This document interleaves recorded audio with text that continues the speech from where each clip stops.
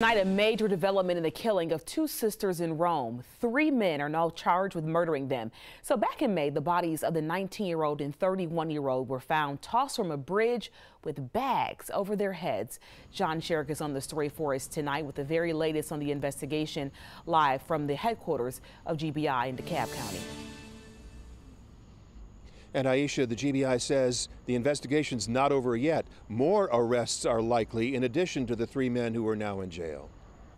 Investigators gathered in Rome to announce the three arrests. Three men accused of murdering sisters Vanita Richardson and Truvenia Campbell in May and tossing the women from a bridge to the banks of the Etowah River below. This has been a hideous crime in our city. Rome Police Chief Denise Downer McKinney and GBI investigators say each of the men is facing several charges in addition to murder. 28 year old Desmond Levanta Brown, 36 year old Devin LaShawn Watts, and 23 year old Christopher Ledarius Pullen. The sisters' bodies discovered under the bridge May 13th. GBI Special Agent in Charge Joe Montgomery telling us then. They had bags over their head at the time. They'd obviously been dropped from the bridge. And Vanita's car, like this one, one was missing. Investigators now say they found the car. It was in the city of South Fulton. The sisters' extended families and friends grieving, unable to understand who would hurt them or why. Vanita just about to graduate from Armuchee High School, friends calling her fun-loving, humble, excited about her future. Vanita and Truvenia as close as twins, always together. Truvenia had had epilepsy since infancy and Vanita watched out for her. Then the night of May 12th, they went out in Vanita's car. Their bodies bodies found the next morning. Investigators not disclosing if the sisters and the suspects knew each other or what led up to the homicides or what the motive was.